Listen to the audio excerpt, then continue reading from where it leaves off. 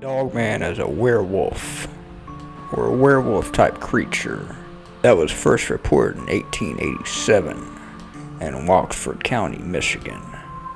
Sightings have been reported in several locations throughout Michigan. The legend of the Michigan Dogman gained popularity when a disc jockey recorded a song about the Dogman and its sightings.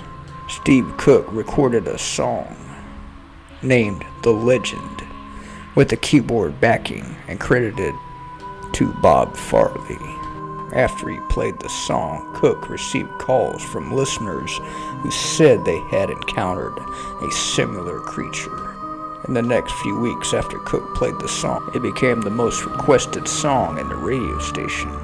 He also sold the cassette songs for $4 and donated the proceeds from the single to an animal shelter. Over the years, Cook has received more than a hundred reports of the creature's existence.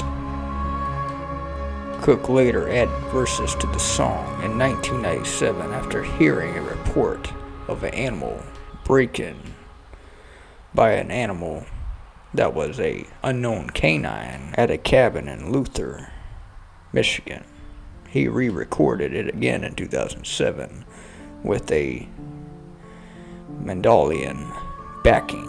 The first sighting of the Michigan Dogman occurred in 1887 in Wexford County when two lumberjacks saw a creature whom they described as being a man with a dog's face. In 1938 in Paris, Michigan, Robert Fortney was attacked by five dogs, wild dogs apparently, and said that one of them walked on two legs.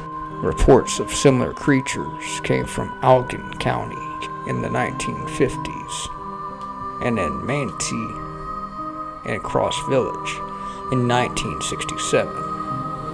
Linda Godfrey, in her book The Beast from Bray Road, compares the Manistee sighting to a similar creature sighted in Wisconsin known as the Beast of Bray Road. In 1961, a night watchman was patrolling a manufacturing plant in Big Rapids, Michigan, when he saw a particular figure. At first, he thought it was a person until he saw the dog like features. He pulled his gun and was about to shoot when he remembered his camera was on and took it out to take a picture of the horrific beast. The photos have not been analyzed yet, and the photos still remain an unsolved mystery.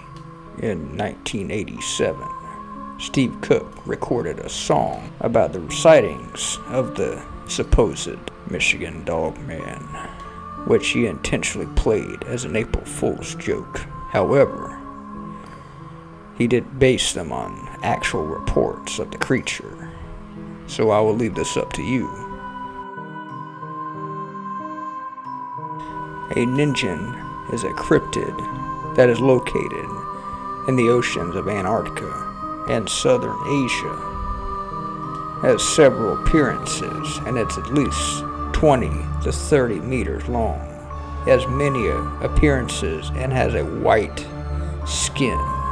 Has many appearances, including above and underwater appearances. The Ningen has been described as a, a humongous, well like creature, a very smooth, pill like form, resembles the head, torso, and appendages of a human being. That having been noted, there are some eyewitnesses who testify that it has a mermaid like tail rather than two hind legs. Others who insist that they resemble hands, complete with five fingers. These beasts have supposedly been seen in the Pacific, Antarctic, Antarctic, and Atlantic oceans, and have always been described as being extraordinarily large, with a whitish complexion. Many observers report that they have no distinct facial features except huge eyes and a mouth slit According to most accounts, these creatures are primarily nocturnal and tend to thrive in frigid Arctic waters. Initial reports of these creatures generally emerged from the tail end of the 20th century, which is strange considering the mystery, considering the mysteries of the undiscovered land masses at the time period. But I will leave this up to you. Are these creatures true or just a hoax?